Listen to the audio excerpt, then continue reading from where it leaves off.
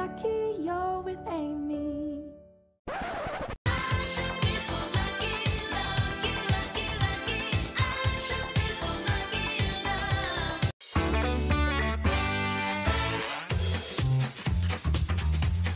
It's breaking the news with Des Clarke.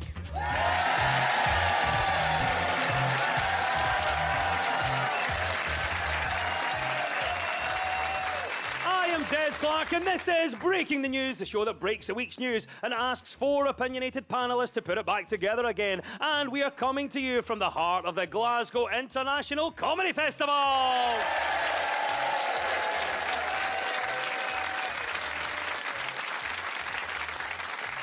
Always, I'm joined by four fantastic comedians. On my right, we have Mark Nelson and Amy Matthews, and up against them are Susan Riddell and Robin Ince. In the news this week, the door which kept Rose alive in the film Titanic has sold for over $700,000. The priceless prop will always be associated with Leonardo DiCaprio's character's beautiful last words. Budge up, love, there's room for two. Puberty makes teenagers' armpits smell of cheese, goat, and urine, say scientists. Older listeners will recall that cheese, goat, and urine used to be the support band for Earth, Wind, and Fire.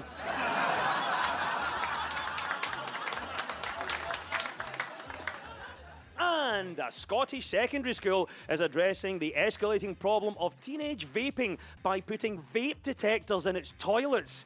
If people's vape, the alarms go off immediately, and a text message alerts teachers who have to drop their fags and run straight to the scene.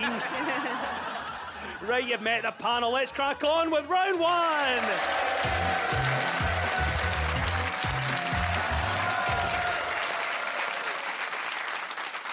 This is the broken news round where our teams have to guess two major stories of the week that have been mashed together into one single news headline. So, Mark and Amy, can you tell me what this is all about? The latest results from a long running survey says public satisfaction with The Chinese state. is at its lowest level on record. Only 24% of people questioned in England, Scotland, and Wales. They've been sanctioned by the UK government because of cyber attacks. The Scottish government needs to wake up to security threats from The NHS. Who knew?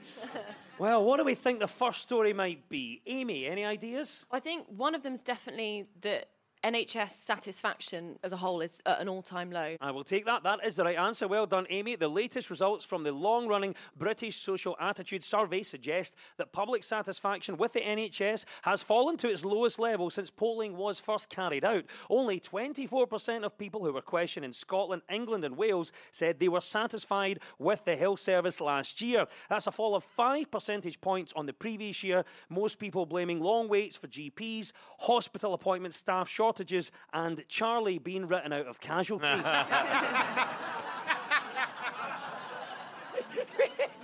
Uh, Amy, well done on getting the right answer. What do you think then? Do you agree with these findings? Well, yes, but also I think it's really important to mention that I, it's not the NHS failing, it's the NHS working under a government that's failing them.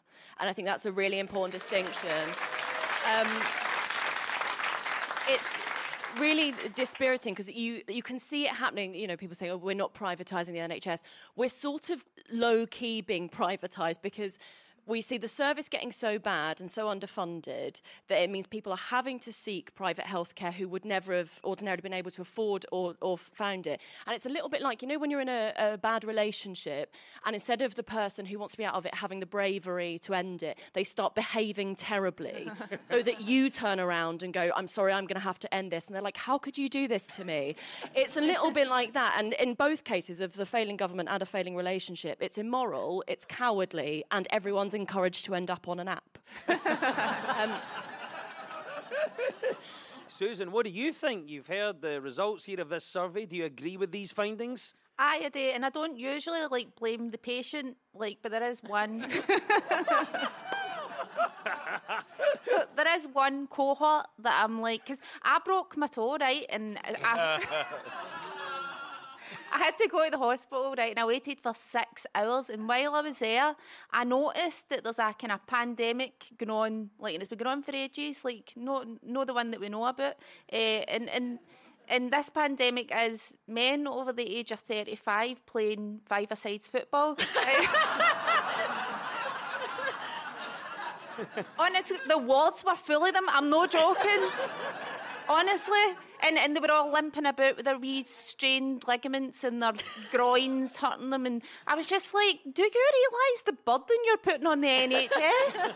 like, just bloody grow up. Do you know what I mean? Listen, Susan, I pay my taxes like anybody else. I deserve. Uh, Robin, I'll bring you into this, obviously. What do you think then? As you quite rightly said, Amy, you know, it is about support. It is about the fact that if there's one thing that should be financed, it is to make sure that everyone can live as long a life as possible. And you know, and I also because I need 24 hours in A and E to exist on television because.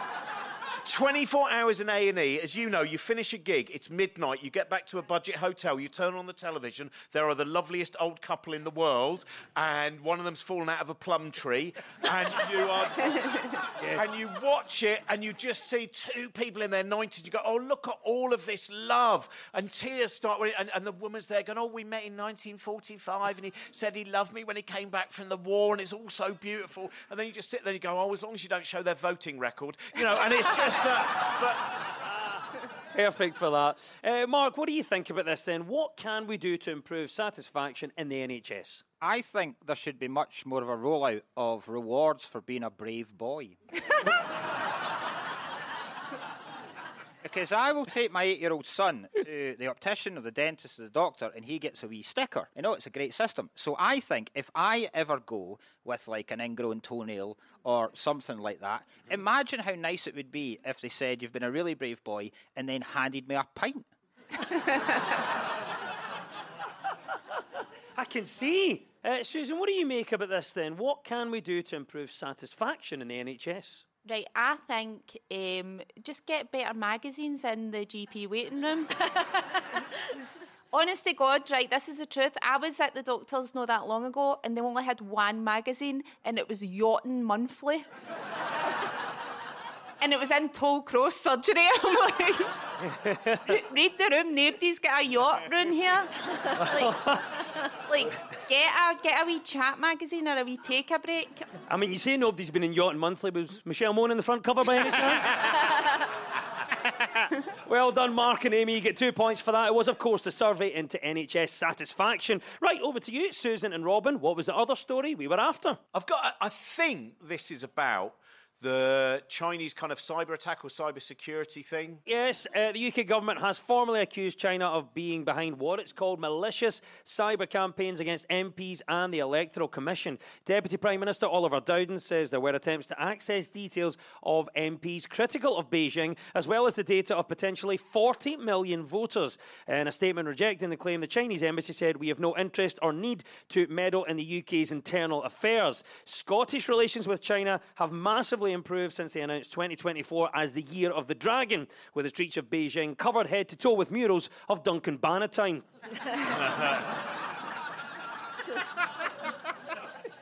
what do you think then about these accusations, Susan? Um, well, th- there's that new app that's supposed to be stealing all your information and stuff. That te- is it Temu? Temu, and that's like a Chinese app, and they're re- they're saying that um, there's like a lawsuit against them saying that they're taking all your inform like harvesting your information and oh your phone's listening to you and stuff like that. And I'm just like, well, it's just nice to have somebody listening. Do you know what I mean? I'll bring you into this then, Mark. What do you make of these accusations then? Can you imagine how easy it must be to hack our government? Like, do you honestly look at the mess they've made of absolutely everything? Do you honestly think they take security seriously? like, I bet Boris Johnson, when he was prime minister, his password was something like the Big Dog sixty nine.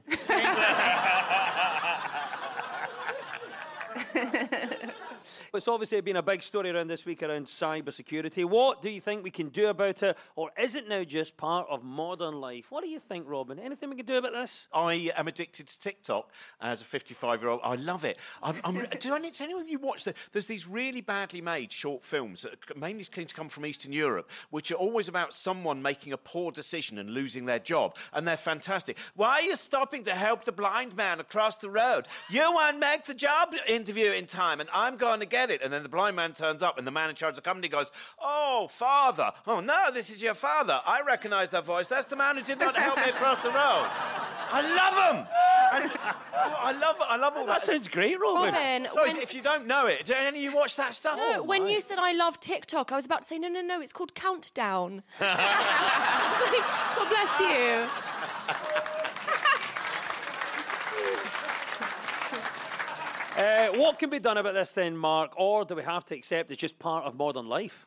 No, I don't. I don't think we take uh, our own personal security seriously enough. I like to think of myself as being quite a savvy, switched-on person who would never get scammed, and I am planning on updating to get the biggest and most expensive security system on my computer. Just as soon as that Nigerian prince sends me money, I will be. You just wire it straight into your account, Mark. You'll be fine. Sorted. Nothing can go wrong. The UK government summoned the Chinese ambassador to answer allegations of spying. The minister said he'd be free on Monday, and the ambassador said, I know, I cleared it in your calendar.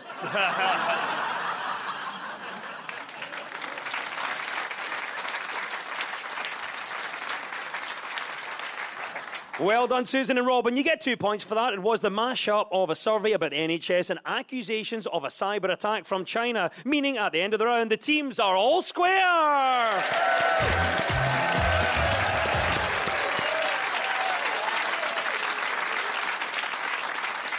Now, much of our news is about public opinion, so to find out what stories people are talking about, we spoke to two friends of the show Herald columnist Brian Taylor and journalist and broadcaster Afia Hagen. So, Susan and Robin, what do you think Brian is on about here? I'm not surprised that scientists are investigating this. They've tried warning us in every other way they know. They tried warning us about the deserts, they tried warning us about the, the polar ice caps. Nobody paid any attention. But this, I mean, this really matters. Um, the, it, the, the, the taste of beer is changing because, uh, as with so many things, the actual the, the, the hops themselves are changing due to climate change. That's a perfect answer, Robin. Well done. Yeah, it is the news that scientists are working with the brewing industry to help save traditional British beer from the effects of climate change. Hops gives it bitter its taste, but the plant doesn't like the hotter, drier conditions we've experienced in recent decades, and production has plummeted. But researchers in Kent are isolating hop genes in the hope of producing more climate change resilient varieties. There were reports that climate change protesters had glued themselves to the floor of a pub, uh, but it turned out it was just a guy that fallen onto a sticky carpet in Wetherspoon.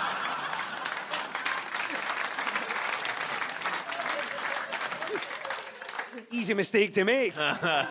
oh, well done on getting the right answer then, Robin. What are your thoughts then on this scientific work? Well, I do I genuinely think this is a, a really important thing because that's the kind of thing. It will be what you might consider, when I say mundane, I'm not saying that beer is mundane, but that bit of going, I didn't know it was going to affect my beer, you know, and I've also heard it's affecting both cheese and onion, then you've kind of, you know, got a. It's at that point when yeah. you're drinking the worst beer ever, you think Greta was right. Yeah. Susan, what are your thoughts then on this scientific work? Everybody knows, like, like people are worried their beer's going to taste honking, but as long as you can get through the first one, then the second one tastes better. You, you guys are exactly right. It's um, it is so much easier to uh, be motivated to find solutions to things that feel like they affect you. You know, and I think finding creative solutions to um, a lot of the effects of climate change are getting increasingly more important. I've given it a thought myself as well. Uh, obviously, one of the worst ones is flooding, um, and I've come up with a one-word solution: Weetabix. Bung three of those in there. It'd be absolutely. Honestly, if you put three Weetabix in Loch Lomond, by the end of the day, you'd be able to fit it in a ramekin. it's the most absorbent material known to mankind. There you go, sorted. Climate change done and dealt with. Do you think this should be a priority then when it comes to climate change? Does it give us a focus, Susan? no, I think the priority should be ginger people, because sure. like, I'm ginger and we'll be the first to pay. I'm like, what factor am I going to need to put on in the future? I am actually involved in a ginger saviour program because, like, I don't know if you remember the heat wave of 2020. Um, we used to be 98% ginger people in this country, and that decimated it. we, we, we only we only have two left, right? But what me and a load of other guys are going to do, we're going to send both of those two ginger people to a zoo in China. we're going to try and get them to mate because ginger people don't mate naturally. I, I can confirm this. Of course, scientists first highlighted the potential beer shortage at their annual conference in Glasgow, HOP26.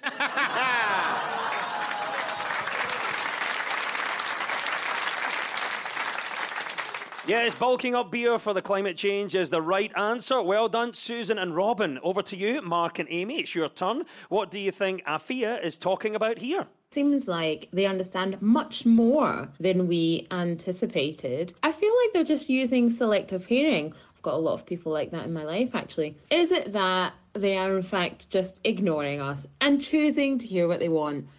It's dogs. Apparently, dogs can understand nouns.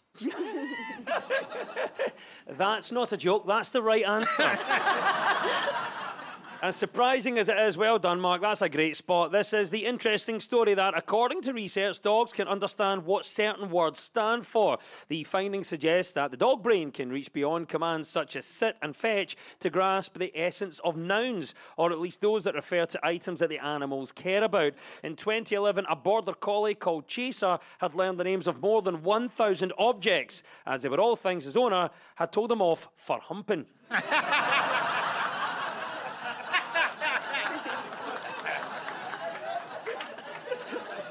It's true, it's true. Well, I, want to know what cats understand. Everything. Exactly. Like, I, I bet cats can understand full sentences and they just choose to not engage with us. That's the observation. That's the survey we want. Uh, Amy, what do you think then? Do you agree? Can dogs understand more than we think? Well, my partner's dog walks towards me bum first. um, my sister's dog has his business unsheathed on a permanent basis. My granddad's dog tries to copulate with the sofa, and my friend's dog once ate and regurgitated fecal matter. So I think the one phrase we know it- they definitely can't understand is "stop it." That's unbecoming. Every single one of those instances sound like a stag do I've been on.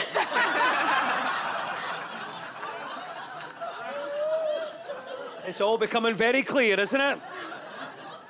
Susan, do you agree with us? Can dogs understand more than we think? Yeah, do you know actually I read this article? There's going to be AI in the future that your dog is going to be able to talk to you, right? And I'm just like, well, that's just going to ruin dogs, isn't it? Like, what if you find out like your dog's a Tory or something? Do you know what I mean? but, if you're just like sitting watching Question Time and he's nodding along with Rishi Sunak, yeah, yes. it's going to be chaos because then it'll be like, oh, get the German shepherds back to Germany and all that. Do you know what I mean? Like, Well, really terrible. before we veer even more to the right, um, what do you think about this then, Robin? I, do, I mean, I do love dogs, and I, but I, I think you're right as well. Just that in terms of the, you know, if you could hear what a dog thought, it would just be kind of floor, hungry, floor, hungry. That's having a floor. Uh, boyfriend. yeah, that would be. Um, what a revelation. Dogs can understand between 15 and 215 words, including rubber toys, slippers, and leashes, which is also the dress code for the Tory party conference. Yes, well done, dogs. Understanding more than we might think is the right answer. And two points go to Mark and Amy.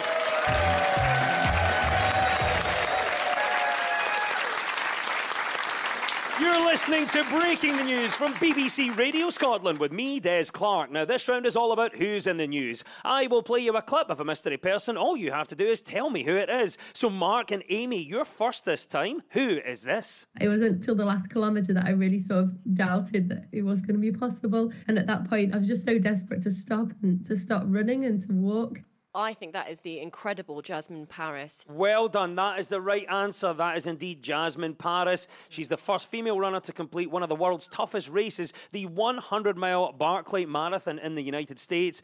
Jasmin from Midlothian said she wanted to test the limits of what she was capable of and inspire others. Afterwards, Jasmin was greeted by cheers from her family and tears from those people who'd sponsored her per mile.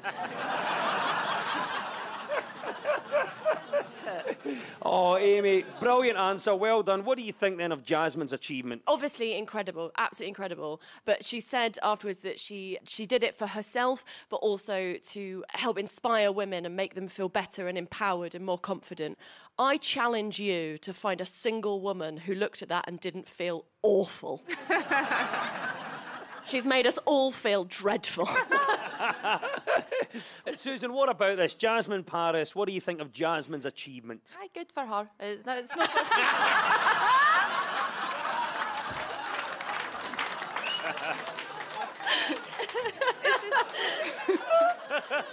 I'm a bit more like Amy. It's not for me. Right? It's, it's not for me. I, have tried to exercise and like sometimes I've been to a boot camp and stuff like that, and I was talking to other people, and some people like it when you feel the burn. And I'm like, no, right? I don't like that. And I never feel it in the right places, right? So, uh, see, when I'm doing like press ups, I'll feel the burn in my forearms, right? And when I'm trying to do squats, I'll feel the burn in my calves. And I'm like, what am I going to come out of this boot camp looking like? it's like big, meaty Popeye forearms and big Deliveroo driver calves. Like, no. Uh, love that. Uh, Mark, what about you? What would be the most impressive thing that you've ever done? Well, as you know, Des, I've run two marathons. Yes, I've run the Edinburgh Marathon uh, twice, and I would advise anyone that is ever thinking of doing it, don't. Things hurt. Like I've never used my nipples for anything in my life. I've. As if I've been breastfeeding a piranha.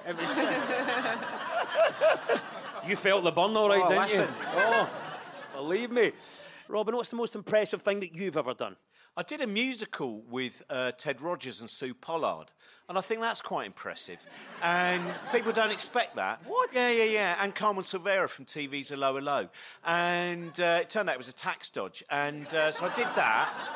And uh, I also was once interviewed by Piers Morgan, and I didn't punch him once. So I think that's kind of like. Uh, and well It was a really bizarre year because I also supported the Stranglers in Bosnia, and I was like, that is. I know, I say yes to anything that sounds interesting. The first female runner to complete one of the world's toughest races has said she did it for women worldwide, although they've since responded saying they'd preferred a gift voucher. And yes, well done. Two points to Mark and Amy. That was Jasmin Paris. Right, over to you, Susan and Robin. It's your turn again. Who is this and why are they in the news? You can't stream. Nobody will watch you. You'll never have any followers. So, of course, now he's eating his words. I can't explain why. It was just instant love. It was that uh, granny that's a gamer and she's got like loads of followers and stuff. Well done, Susan. A 75 year old Scottish grandmother has become a video gaming sensation after teaming up with one of the world's most famous Fortnite players, Kath Bowie, aka Grumpy Gran 1948. that is her name. Uh, has been hooked on Fortnite since being introduced to it by her grandson. Her skills and hilarious commentary were spotted by US YouTuber Cypher PK, and together they racked up more than half a million views. A lot of the divides between generations, I think, are, are absolute nonsense. You have loads of people who are just curious and excited, and the fact that Fortnite mixes mass murder with dancing, I think, is also very positive.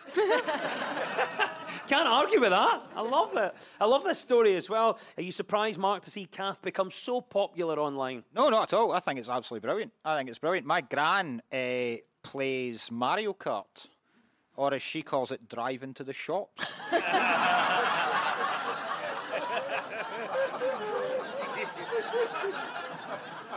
I love Robin's point, though, about the generations being united. Should more older people be joining the online community? What do you think, Susan? Aye, I, th- I think so because it's like older people are like having a better time than younger people. Like what happens when you bought a house for eight pounds?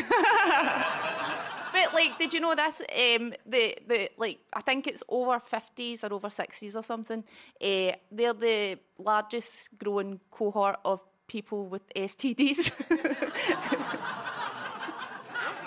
Just looking at the demographic of the audience. yeah. I know. Some of you better get yourself down to Sandyford. get a wee check. Now sitting uncomfortably, adjusting themselves. So here's the question. Kath Bowie is 75 years old and now famous online for playing Fortnite. What do you see yourself doing at 75? Renting. Um, no. no, I almost exclusively drink port. I own more than one book about the shipping forecast, and I can't work a printer. I'm already 75. You're leaning into that. Yes. Kath Bowie has been playing Fortnite since her grandson introduced her to it five years ago. She leads the only squad that, when they've killed all their opponents, shout house. well done. Gaming Granny Kath Bowie is, of course, the right answer, and two points go to Susan and Robin.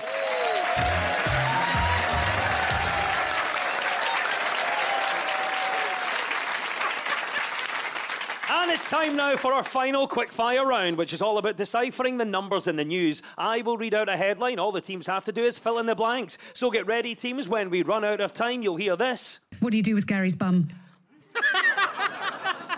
That's Good Morning Scotland's Laura Maxwell there, struggling to hide her obsession with the lead singer of Take That. Okay, fingers on your buzzers, and here we go. Children do what 300 times a day?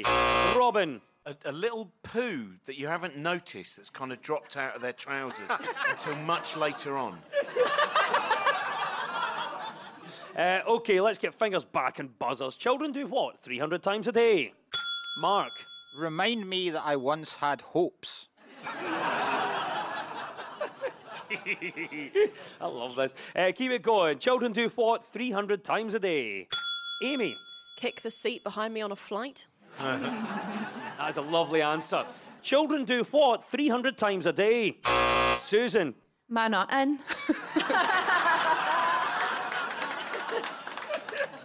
A lovely answer. this is true. On average, children laugh 300 times a day. What do you do with Gary's bum? Oh, there is a klaxon. Laura has Maxwell. That means it's all over. And at the end of the quiz, our winners this week are Mark Nelson and Amy Matthews.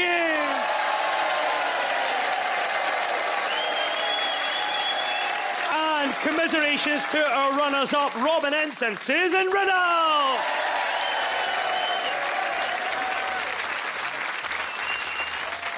And we'll leave you with the breaking the news. Breaking news just in. Americans are being offered the chance to purchase a Bible endorsed by Donald Trump for a mere $59.99. I'm not saying it's another scam from the former president, but he is charging double for one signed by the author. A 270 million year old fossil that sheds light on the origins of amphibians has been named after Kermit, the world's most famous frog. Archaeologists around the world have hailed the discovery, but can't yet explain the fossilised human hand found up the frog's bum. And scientists have claimed that pollution is affecting wildlife in our seas, so much so that every single marine species we've looked at so far is full of cocaine. The government have moved quickly on this, with Rishi Sunak convening an emergency committee and Michael Gove grabbing a fishing rod. the news is broken. I've been Des Clarke. Goodbye.